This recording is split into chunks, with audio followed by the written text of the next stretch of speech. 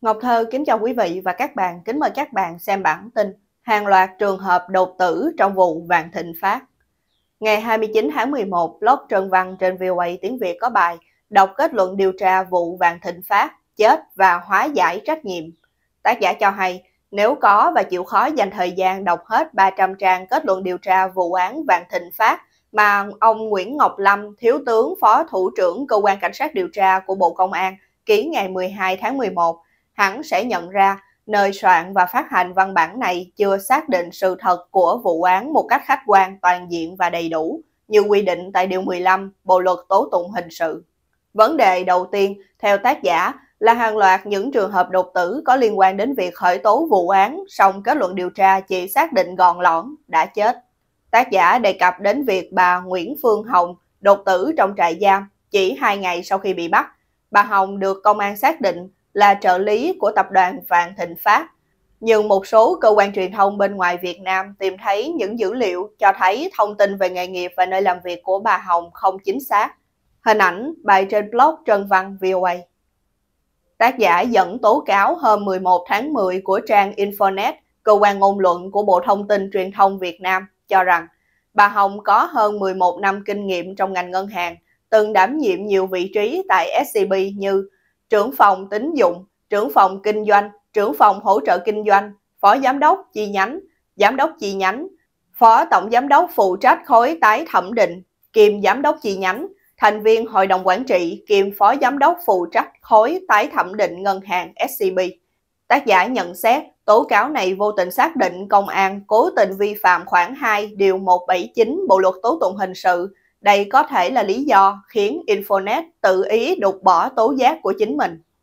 Ở trang 15 của kết luận điều tra, công an chính thức xác định bà Nguyễn Phương Hồng là một trong những lãnh đạo chủ chốt của SCB và chết vào ngày 9 tháng 10 năm 2023 khi đã khởi tố bị can, điều tra các vi phạm pháp luật nhưng chủ động vi phạm pháp luật khiến công chúng hiểu sai về thực trạng của SCB và thản nhiên bỏ qua vi phạm này của chính mình thì có đáng tin về mức độ khách quan vô tư chăng? Tác giả lưu ý việc bịa đặt chức vụ và nơi làm việc của bà Hồng nhằm giữ cho SCB không sụp đổ. Sự gian trá của công an và các viên chức cao cấp của ngân hàng nhà nước đã tạo ra một vụ lừa đảo chiếm đoạt tài sản khác. Hình ảnh bà Nguyễn Phương Hồng, người đã chết trong trại tạm giam chỉ hai ngày sau khi bị bắt. Tác giả dẫn lời ông Nguyễn Đức Lệnh, Phó Giám đốc Ngân hàng Nhà nước, chi nhánh thành phố Hồ Chí Minh ngày 13 tháng 10 năm 2022 cho biết, nhiều khách hàng người dân sau khi nhận được thông tin tư vấn giải thích từ đường dây nóng của ngân hàng nhà nước đã yên tâm và gửi tiền lại ngân hàng SCB. Theo tác giả, nếu đặt những thông tin này bên cạnh nhận định của công an tại trang 5 kết luận điều tra, ngân hàng SCB đã hoàn toàn mất thanh khoản, dư nợ tín dụng rất lớn, không có khả năng thu hồi vốn chủ sở hữu âm 443.769 tỷ đồng. Tự nhiên sẽ thấy việc ngụy tạo chức vụ và nơi làm việc của bà Hồng nghiêm trọng, tàn tệ đến mức nào. Chưa kể nhà nước pháp quyền xã hội chủ nghĩa còn cho phép công an càng rỡ đến mức khuyến cáo tất cả các tổ chức cá nhân không đăng tải, chia sẻ, phát tán hoặc bình luận đồng thuận với tin giả, tin sai sự thật, tin gây hoang mang dư luận, ảnh hưởng tiêu cực đến an ninh trật tự, và từ tháng 10 đến tháng 12 năm 2022 đã xử lý hàng chục người bình luận về SCB để răng đe dân chúng. Tác giả kết luận ở Việt Nam, con người chẳng là gì cả, bị can chết trong khi tạm giam được xem là chuyện bình thường. Cũng vì vậy, không có bất kỳ cá nhân nào phải chịu trách nhiệm về việc bà Nguyễn Phương Hồng đột tử. Cũng không có bất kỳ cá nhân hữu trách nào yêu cầu báo cáo xác định những ai phải chịu trách nhiệm về cái chết của bà Hồng dân chúng cũng không được phép biết vì sao lại thế. Và vụ án xảy ra tại tập đoàn Vạn Thịnh Phát, ngân hàng SCB, các đơn vị tổ chức có liên quan, không chỉ có một trường hợp bất đắc kỳ tử. Nếu chịu khó nhìn lại những trường hợp đột tử, có thể tự nhận định kết luận điều tra chỉ nhằm kết thúc một vụ án hay nhằm xác định sự thật của vụ án. Quý vị và các bạn vừa theo dõi chương trình cập nhật tin tức của Ngọc Thơ Thời báo chấm D với bản tin hàng loạt trường hợp đột tử trong vụ Vạn Thịnh Phát.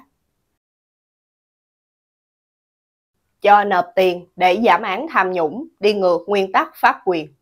AFA tiếng Việt ngày 27 tháng 11 có bài Nhận hối lộ không vụ lợi, sự ngụy biện, cưỡng từ, đoạt lý. Những ngày qua, khái niệm nhận hối lộ không vụ lợi sẽ không bị truy tố, được ông Nguyễn Văn Yên, Phó trưởng ban Nội chính Trung ương, đề cập đến đang gây phản ứng trong công luận. Hình ảnh bài trên AFA.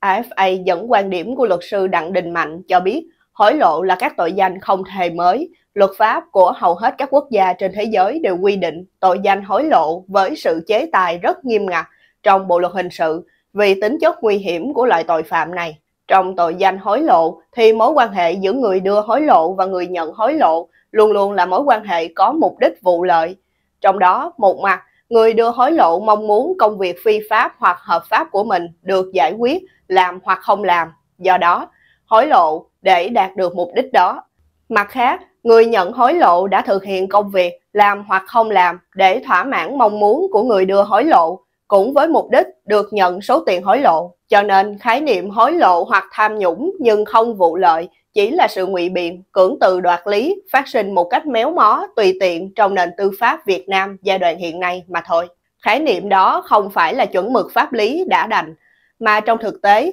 cũng không bao giờ diễn ra. Vì lẽ nếu người dân nước lã với nhau, không ai tự nhiên mang vác một số tiền lớn cho không ai bao giờ. Hình ảnh nghị quyết tháng 3 năm 2020 của Hội đồng Thẩm phán Tòa án Nhân dân tối cao. Theo đó, nếu người tham ô, nhận hối lộ, tự nguyện nộp lại ít nhất 3 phần tư tài sản tham ô, hối lộ thì sẽ được giảm án. AFA cũng dẫn lời luật sư Ngô Anh Tuấn cho rằng, đầu tiên, quan điểm của tôi là đồng ý với sự cẩn trọng của họ trong việc đấu tranh xử lý các hành vi phạm tội để bảo đảm cho các nguyên tắc cơ bản trong Bộ luật hình sự, trong đó có nguyên tắc suy đoán vô tội theo điều 13 hoặc nguyên tắc xác định sự thật khách quan của vụ án, có nghĩa Họ cẩn trọng trong việc xử lý từng con người trong vụ án, đánh giá rõ ràng, tôi đồng ý với việc đó. Tuy nhiên, phải xác định rõ hành vi đó có đầy đủ các yếu tố cấu thành tội phạm hay không để tính việc miễn trách nhiệm hình sự hay miễn hình phạt, tức là có dấu hiệu hình sự nhưng không xử lý hay có dấu hiệu hình sự có xử lý nhưng không chịu hình phạt. Phải làm rõ điều đó Thực tế, nếu nhận tiền mà không có yếu tố vụ lợi thì đó rất khiên cưỡng, khó mà giải thích cho hợp lý. Trong trường hợp này tôi nghĩ để xử lý một cách khách quan và công bằng, công bằng với cả những người phạm tội và không phạm tội, thì khi đã xem xét đầy đủ các yếu tố cấu thành tội phạm thì phải truy tố, xét xử bình thường. Còn nếu xét thấy người ta có nhiều công trạng thì có thể xem xét miễn chấp hành hình phạt, nhưng hành vi đó buộc phải xử lý không thể làm theo kiểu ngay từ đầu đã xác định không vụ lợi và miễn truy cứu. Như thế thì không công bằng cả với những người đang bị xử lý. Hình ảnh ông Lê Minh Trí, người đề xuất việc nộp tiền để tránh bị xét xử hình sự. AFA dẫn truyền thông nhà nước cho hay trong vụ án liên quan đến tập đoàn Vạn Thịnh Phát có 7 thành viên thuộc đoàn thanh tra cùng nhận tiền từ SCB nhưng lại không bị truy cứu trách nhiệm hình sự.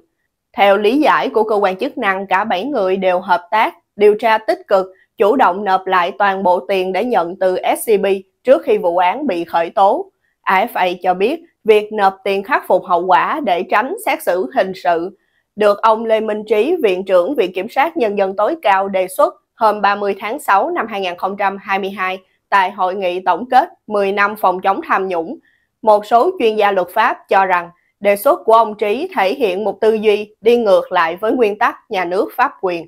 Quý vị và các bạn vừa theo dõi chương trình cập nhật tin tức của Ngọc Thơ thời báo chấm D với bản tin cho nộp tiền để giảm án tham nhũng, đi ngược nguyên tắc pháp quyền. Quý vị và các bạn hãy chia sẻ video này để nhiều người cùng biết cũng như bấm nút đăng ký kênh YouTube và Facebook của thời báo chấm D để được cập nhật những bản tin mới nhất, nhanh nhất và trung thực nhất. Ngọc Thơ thời báo chấm D